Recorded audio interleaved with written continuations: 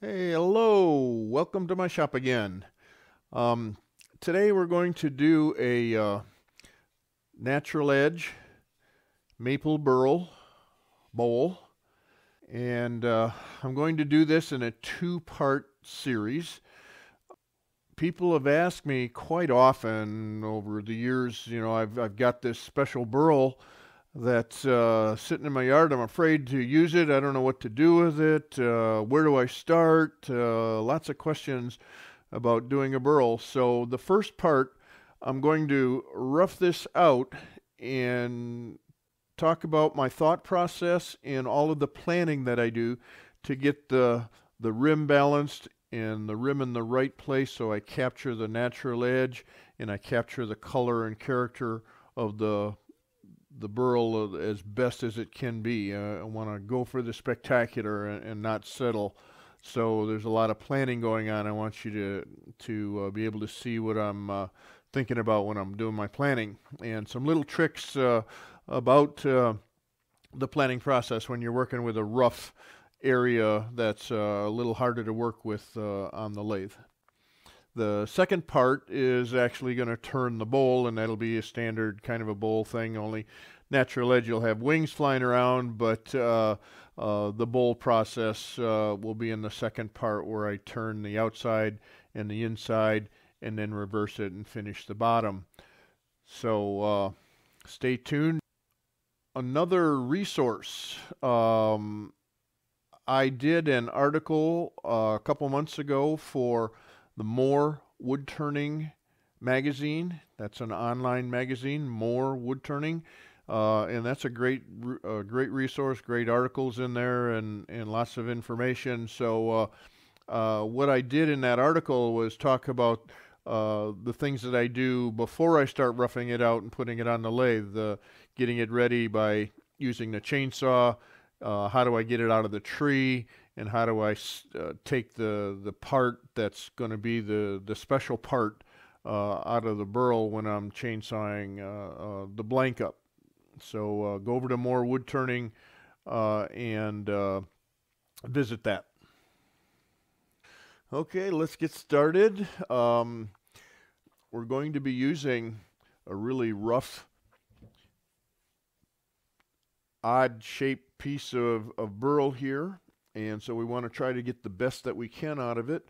Uh, I've uh, chainsawed the the backs off a bit, but uh, I want to find an axis that's going to be uh, uh, the best that it can be when we have uh, a special piece of wood like this. I, I know the color is going to be great from my chainsaw cut, so we want to get it on an axis that's going to be the uh, the best display of this color and character of the wood and I'm going to have a natural edge here that will uh, uh, accentuate its uh, its character as well as the color of the wood is going to uh, be displayed. So as I start with every piece that I do I'm going to start on the balance point and when we start on the balance point it's knowing that that's not more than likely that's not going to be the final axis uh, on the balance point uh, so that I can get the speed of the lathe up and then we're going to move it and take a look at it and evaluate it and uh, move it to an axis that's going to be uh, uh, get the best that we can out of this make something really special. When I have a piece that's this gnarly or even when I'm trying to put a piece on the lathe that's uh, not running uh, true and have a good surface, uh, square surface on it, um, the drive teeth can very often hit the uneven surface of the wood and while I'm trying to do the balancing and I want the pin to touch only so that the piece will freewheel and I can find that balance point. Once the drive center area hits the wood, it then I've got to move the the motor and the bearings and the belts and everything have to move, and the weight of that will interfere with my balancing. So, in order to get my balance point on a rough piece of wood, many times uh, I'll take an old uh, live center that I've got. Uh, some of you got multiple lathes and have an old live center laying around. So now I've got a live center in my headstock and a live center in my tailstock. So when I put this on between centers, it's just going to freewheel and be able to find my center point easier. Okay, now you can see uh, after some trial and error, I found my balance point by moving it uh, with the weight goes down to the bottom. I move it up and, and find the balance point. And I've tried to access this or orient this so that the axis is, is good so that the, uh, the rim of my bowl will be in a, a relatively good place. But I won't, know until I start roughing this off and get some of the waste wood out of the way.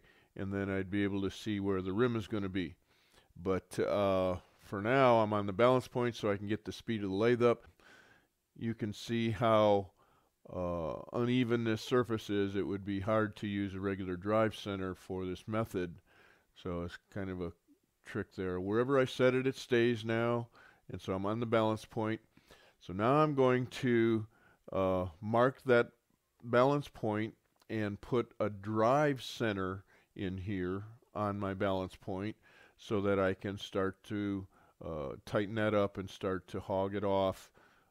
One of the things that I don't want to do when I'm using a really odd shaped piece like this is take it over the bandsaw and get it round because I won't know what that axis is and that scale is, the orientation is, until I start to hog off some of this stuff on the lathe.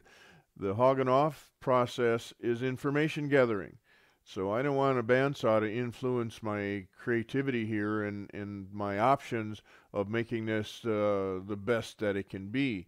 So uh, bandsaw is not a good plan on that, even even though a bandsaw is not a safe way to, to cut up a huge piece of wood, but more importantly, the influence the bandsaw might have on my shape and scale and axis once I uh, start looking at this piece to move it around to make this a piece that's spectacular rather than just mediocre. Now I have this uh, on with a drive center, so very securely uh, held between the tailstock and the headstock drive, very tight, uh, very secure. It's not going to go anyplace. The drive center teeth are biting deep into it. And I've got the camera view right over here so that you can see that I have uh, the high spot here close to the tool rest so that I can I know where the wood is and if you look at it I've got a lot of wood to take away to get down to the mass of the rest of it. So I'm going to take small cuts across. I've got my bowl gouge ready to go. I'm just going to go across here take a cut come back advance a little bit more come across again. So I'm going to uh, have support up close to the wood and the bevel is going to be there to support it while it's cutting too. Even though it's mostly airspace is going by while I'm cutting the bevel is going to be supported so the bevel is lined up with my handle the bevel is lined up parallel to the tool rest. Right?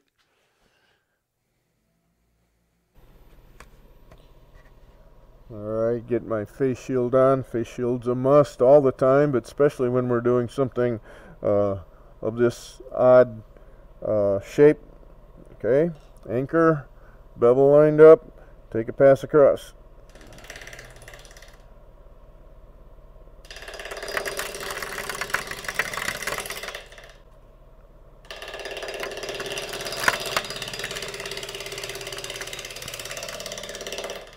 Some of you out there might think I'm a little crazy to put something this wacky on the lathe without getting it round first, or at least chainsawing the corners off. But uh, the methods that I use are so easy that uh, uh, it's not a problem, and I can do it a lot faster, a lot easier on the lathe. I'm not beating my body up, and I'm not doing something dangerous on a bandsaw or, or chainsaw. All right. So now I've got the camera in position that you can see. Uh, just for fun, I'm going to use my fingertips, right?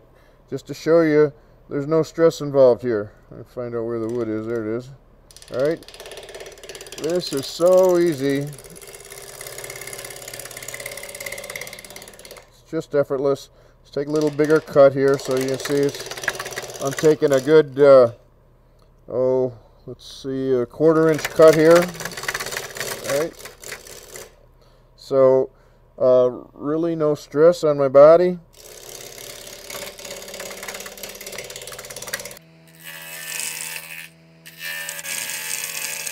So I'm getting close to where I want to be. So I, I, still need to think about sneaking up on this and uh, making some adjustments even early on. Uh, I've got a a flat spot here. Okay, if I take this all the way down to my flat spot, here's where I am here, and there's the flat spot. So I've got uh, oh three quarters of an inch there of gap. And on the other side, 180 degrees from that, um, I'm at zero, right? And so I'm going to move this whole thing over a little bit so that I can capture the, the biggest piece I can. I'm going to move it over 3 eighths of an inch. I'm about 3 quarters inch off uh, on one side than I am the other, so I'm going to move the whole thing over. Okay. A second issue is this wing right here has nothing behind it. So if I start taking this diameter down farther, this wing is going to go away, and I'd like to save this wing. It looks like it's pretty spectacular color, but it, it's a natural edge that I want to try to maintain. So again, I'm going to move it over uh, away from this a little bit so that I cut on the other side and not cut this. Here's a different view of that wing again. See, there's nothing behind that wing. So if I cut this down, that wing's going to go away and I'm going to have a big low spot in the, in the rim of my bowl. Uh, my rim's going to be out here someplace. I'm going to move the whole bowl blank this direction by moving the, the drive center over about 3 eighths of an inch, about that direction. Okay so that I'm going to, when I do that, it, it bulges out the other side. I'm going to take wood off the other side and I'm going to protect this. Right.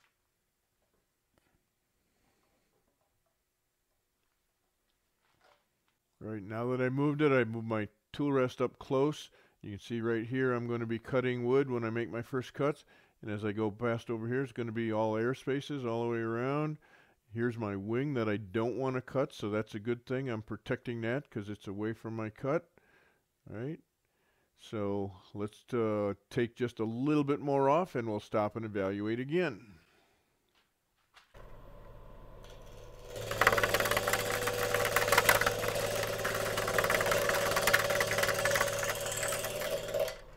Okay, I'm getting close now to the diameter that I want.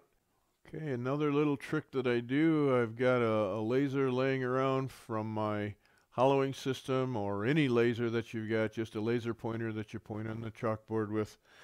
And I'm going to use that to help me because it's really hard with a, a very uneven uh, surface like that. It's hard to tell once you start cutting into it. Uh, well, it's hard to tell until you start cutting into it exactly where the rim is going to be. So I'm going to take the laser and point at it and then spin it around. I can see that that that if that's where the rim of my bowl is going to be,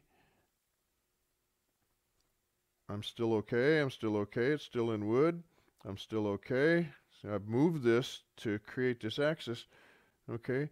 Now there's my wing. There's that that area that I'm trying to protect. Okay. So let me move move the laser over to be right on that wing. There's there's a laser right on that wing. Now let's see what's happening on the other side.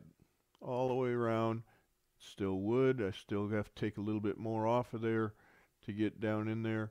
But you can see where the rim is going to be all the way around. And there again is my wing. Okay. The laser can be a great way to look at uh, where your rim is. It can also be a way, if I'm going to shine it directly down the parallel to my tool rest or parallel to the bed of the lathe, it can all also show me the diameter of my piece. I've got wood all the way along here. It's shining on that wing area that I'm looking for. It's still there, it's still there, it's still there, it's still there. So there's a fat spot right in here that's going to go away, and that's quite all right. Okay, so I can see the diameter of the piece, and I can see the rim of the piece by shining a laser on that uneven surface. A cool little trick there. But I've got uh, still some chainsaw cut here and I've got a big uh, hunk of stuff here. This is going to be the bottom of my bowl. So I know a lot of this stuff has to go away. So I'm going to come in here and get rid of some of this waste wood uh, just to uh, get some of the balance down in the in the bottom of the bowl rather than the rim of my bowl. So I'm going to be working on both both parts of this and uh, uh, don't want to have any surprises after I get done moving this and all of a sudden I realize, well, now the bottom's got a problem. So I've got to look at both the top uh, positioning and the bottom positioning. So I need to cut away some wood here.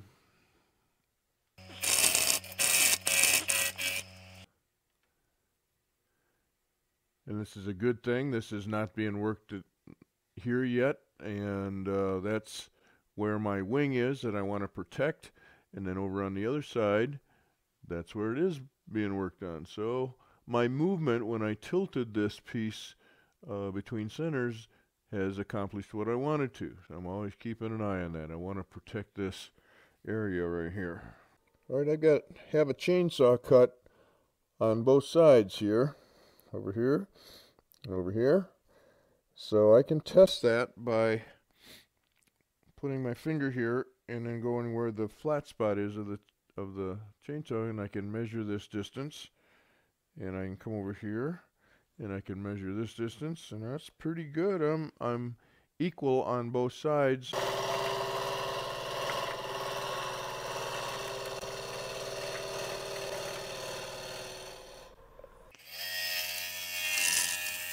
So let's go here where the uh, the opposite side of my wing is Let's take a, a, a look at here, okay? These are the top, this is the top highest point on this side of the, of the vessel, right? I'm going to go over here and look at I've got maybe about an inch higher here, all right? So what I'm going to do is I'm going to tilt this. I'm going to lower this side and raise the other side so that these top highest points on both sides of my bowl are going to be parallel to the table when I get done. Okay, so how am I going to do that? I'm going to tilt the bottom, right? I'm going to move the wood this way, okay?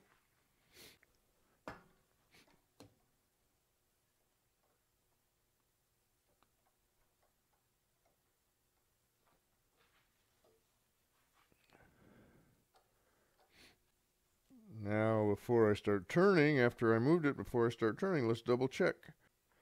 I gained on it. I gained on it quite a bit. So I didn't quite move it enough. I got to move it again, just a little bit more.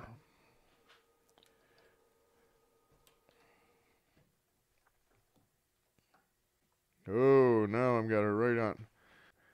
So now the two highest spots are going to be parallel to the table and then the natural edge will flow. Turn the speed down for you. you see how it's wobbling here because I moved it. And here still running pretty true. That that didn't move on the headstock's end of it. And that's what I wanted to do because of that wing. I don't want to move the headstock end. I only wanted to move, I wanted to tilt the whole piece without losing my wing.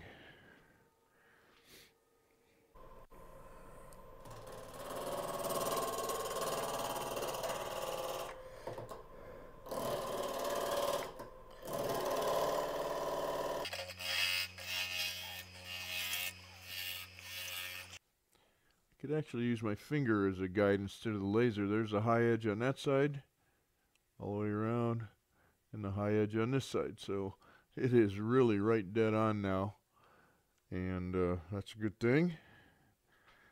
All right, so now that is my axis. after I've gotten done. I'm not, uh, I've got, I've gotten to the point where I'm done moving it.